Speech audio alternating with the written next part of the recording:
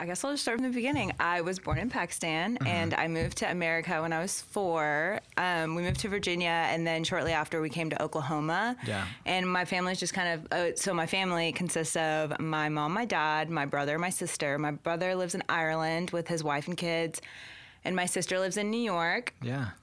and they're just living the dream. And then me and my parents live in Oklahoma. And Okay. so I've been in Oklahoma since I was in the fourth grade. Yeah. And um, yeah, so I graduated from, I went to OU and then I graduated from UCO with a, um, God, I don't even remember my degree.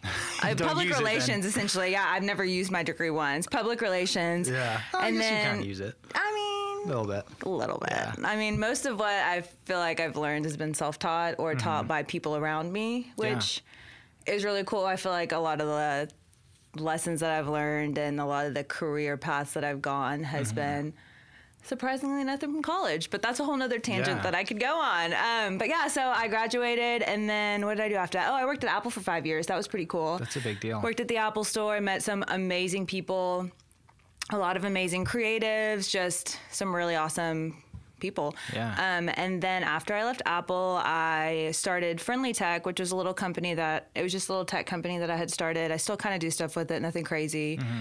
but did that for a little bit. And then shortly after that, I worked for an interior designer, which was really that was a very challenging part of my life. It was really cool, but Yeah. definitely something I'd never been in before, and it took me by a whirlwind.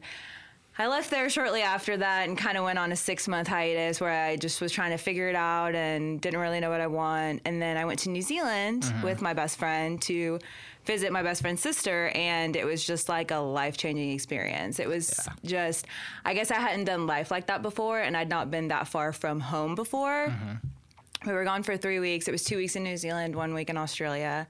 And it was like such a life changing trip. So and cool. it just put things into perspective like, I'm so minuscule Mm-hmm. in comparison to how big this world is. Like, I'm just grateful to be here, yeah. you know, just having that gratitude. And so, anyways, came back to the States, felt brand new. Two months after that, I left for Turkey and Italy with my my parents and my sister, and that was the first family trip we'd ever gone on. So that was really cool. Was, yeah. Um, and then that was, of course, another exhilarating experience because how little am I compared to the world? But after that, we I got back, and then literally while I was in, um, I remember this like yesterday. I was sitting on the doorstep in or the windowsill in Italy, and my now bosses. Um, Megan called me and she was like, "Hey, um, we just wanted to extend this offer to you." And so then that was my foot into the cannabis industry, which is what I do now. I'm a manager Yeah. at a cannabis industry or a dispensary. Yeah.